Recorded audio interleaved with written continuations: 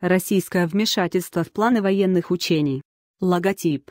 Российское вмешательство в планы военных учений. Sveriges Radio. Швеция. East News App Photo. Patrick Soderstrom. Флотилия шведских многоцелевых военных самолетов. Jazz. 39. Gripen. По приглашению военного командования США примет нынешней весной участие в трехсторонних учениях на Балтике в составе НАТО, Финляндия, Швеция. Об этом сообщила в пятницу газета. Svenska Dagblad. Газета Expressen. пишет о том, что МИД Швеции пообещал российскому послу в Швеции Виктору Татаринцеву, что шведские самолеты не будут в ходе этих маневров садиться на военные базы НАТО в Эстонии, как и самолеты Финляндии. Об этом говорится в опубликованном в газете документе МИД Швеции, где также обсуждаются планы поездки в Москву генерального секретаря МИД Карин Сидер. Обещание было дано Виктору Татаринцеву после встречи с Карин Сидер. Информация заставила главнокомандующего шведских вооруженных сил Сверкира Рансона заявить в новостной программе четвертого канала, что вооруженные силы сами будут выбирать, с кем и на каких условиях им проводить учения.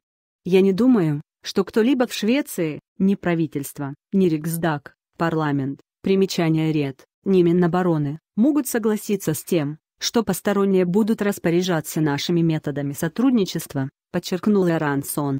Министр иностранных дел Швеции Маргот Вальстрем направила газете Expressen. опровержение.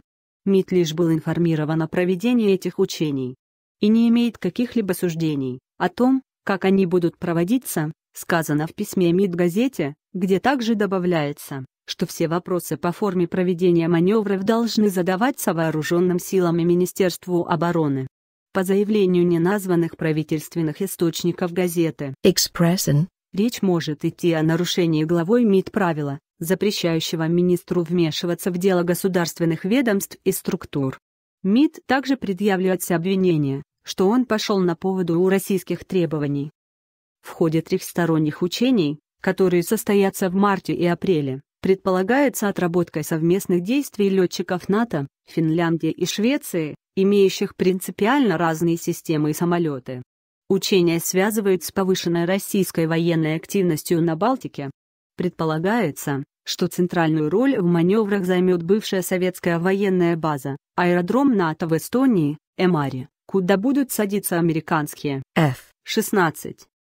Три разных типа военных самолетов делают это учение чрезвычайно сложными, с отработкой наступательных и оборонных боевых действий, заявил, в этой связи, командующий ВВС Швеции Микаэль Будин в интервью. Svenska Dagblad. По его словам, он не видит ничего странного или противоречивого в этих учениях, ни в том, что они проводятся совместно с американскими ВВС, ни в выборе времени их проведения. Пресс-секретарь штаба вооруженных сил Швеции Симон Саймон заявил, что в ходе запланированных учений посадки шведских самолетов в Эстонии и не предусматривались и донесенная через МИД до посла информация об учениях. Обычная процедура. Оригинал публикации. Sveriges Radio. Опубликовано 16 февраля 2015 года 13.13.